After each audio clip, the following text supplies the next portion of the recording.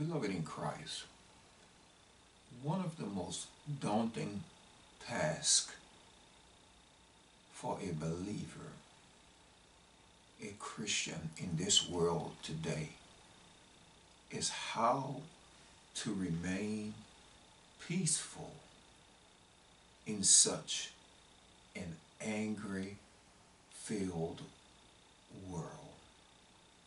Because we are seeing anger at its highest level all around us. People who are disgusted with life, people who are disgusted with uh, leadership, with government, they are disgusted about everything. They're critical about everything. There are those who are uh, who at one time were some of the most peaceful and calm people uh, that you would ever know. Maybe someone that you work with, maybe even family member or a spouse. But there's so much anger being expressed today and so openly that, beloved, we are living in times that are contrary to God's holy and divine uh, will and purpose in this earth. And you know, most of it is due to something that is very simple selfishness and being spoiled. Yes, selfishness and being spoiled. But how is a Christian to respond to all this? Surely not to become part of it, but rather to stand out that they might be seen as who God said they are, and the world might be able to distinguish.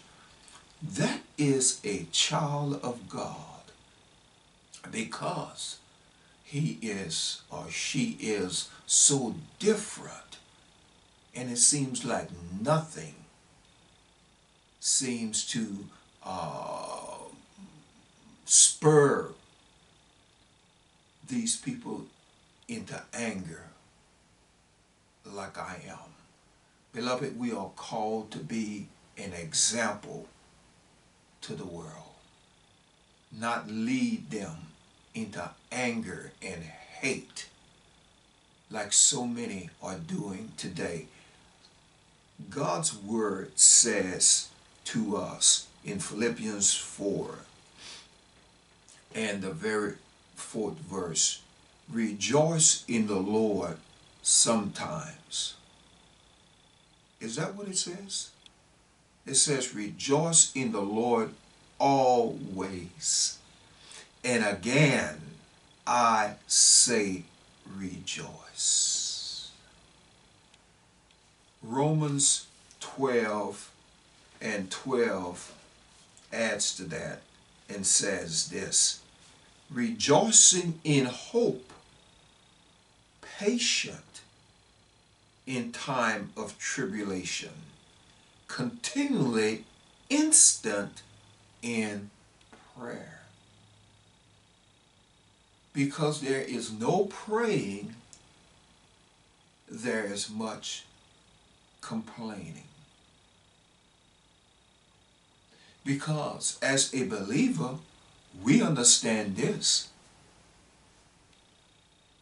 All that transpires is within God's permissive will in what he is allowing. So we have to ask ourselves this question.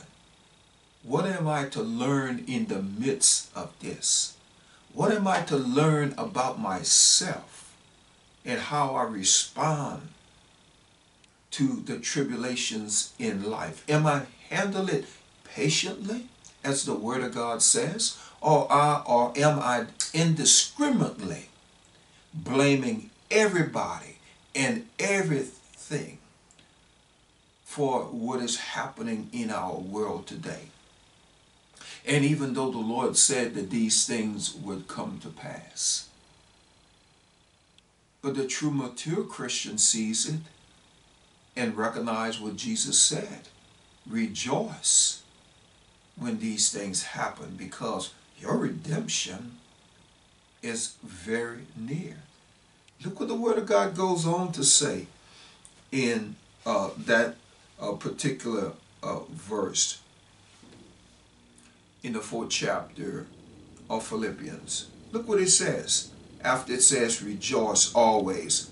Let your moderation or let your gentleness be known unto all men. The Lord is at hand.